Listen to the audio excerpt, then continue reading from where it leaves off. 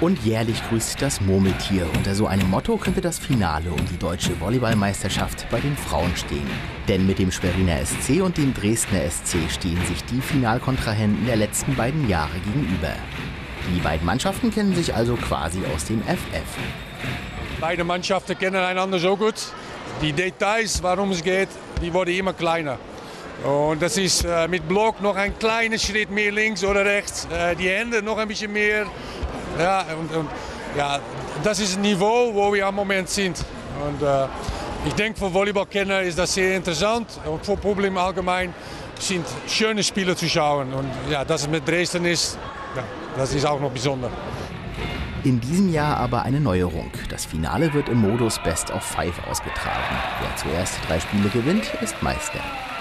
Beim Auftaktspiel in Schwerin hieß es also zunächst für das Boys-Team Weichen stellen. Im ersten Satz zeigten die Gastgeberinnen gleich einmal, in welche Richtung die Finalspiele gehen sollen. In der gesamten Saison ist der Schweriner SC bisher überhaupt erst zweimal bezwungen worden.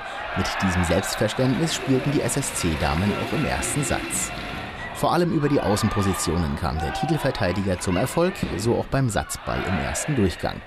Lucy Ziegler zog einen Schlussstrich unter den Anfangssatz, der mit 25 zu 15 relativ deutlich ausfiel.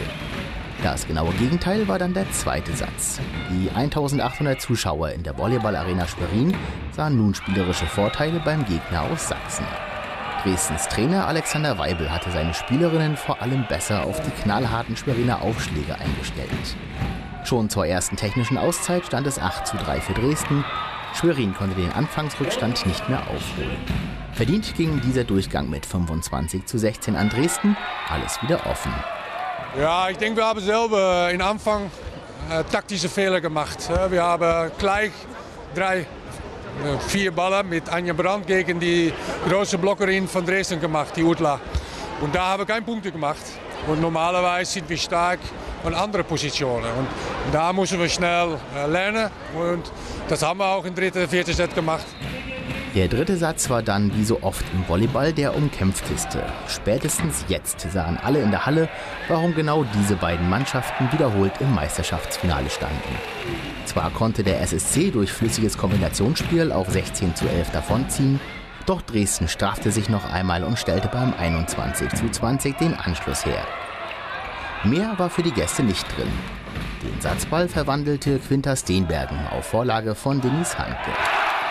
Auch im vierten Satz zeigten sich die Schwerinerinnen von Anfang an wacher. Die Dresdner Abwehr konnte nicht auf die variablen Angriffe des SSC reagieren. Beim 16 zu 6 lagen die Gastgeberinnen schon mit 10 Punkten vorne.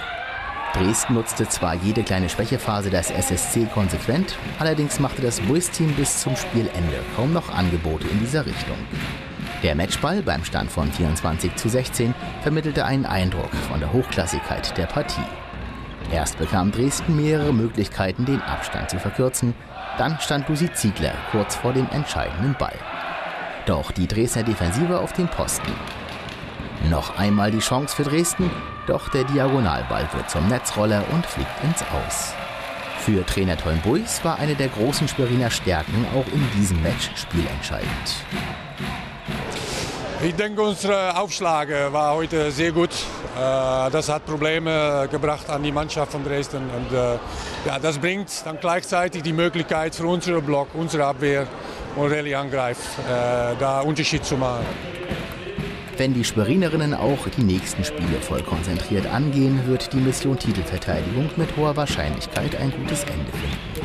Sollte auch in Dresden gewonnen werden, gibt es für das Team schon am Samstag die Möglichkeit, die Meisterschaft vor eigenem Publikum zu feiern.